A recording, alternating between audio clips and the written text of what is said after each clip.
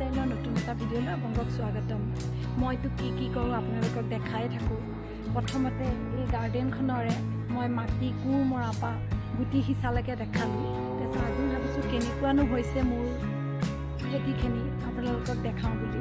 ব'লকচোন কি কি লগালোঁ কিমান ডাঙৰ হ'ল আপোনালোকক দেখাওঁ। দেখাই ভাল লাগে সেইকাৰণে দেখাওঁ। আপোনালোকেও ভাল পায় মোৰ গাৰ্ডেনৰ ভিডিঅ' চাই। সেইকাৰণে ব'লক দেখাওঁ। এয়া মৰিচা যে সিঁচিছিলোঁ এইখিনি মৰিচা। খাব পৰা হৈছে আৰু।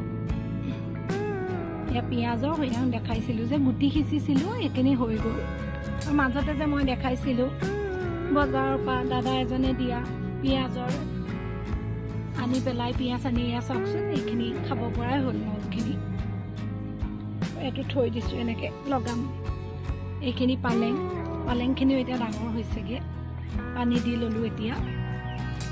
এয়া লাইখিনি এইখিনি খালোঁ অলপ আৰু আছেগৈ এয়া এজোপা এজোপাকৈ লগাই দিছিলোঁ মাজতে এয়া এতিয়া ডাঙৰ হৈছে এজোপা বিলাহী হৈছেগৈ সৰু আৰু তাৰপিছত এয়া লাই পিঁয়াজনৰ মই এনেকৈ যি বস্তুৱে পাওঁ এনেকৈ মাটি ভৰাই পেলাই এনেকৈ খেতি কৰোঁ এয়া চাওকচোন হালধীয়া জলকীয়া এয়া লাগি আছে এইখিনি এয়া বিন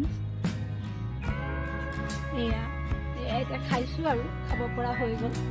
এয়া মূলা এয়া বিন এইখিনিও মূলা। এয়া ধনিয়া। ধনিয়া টাবতে মই এনেকৈ কৰিয়ে মই খাই আছোঁ। এয়া।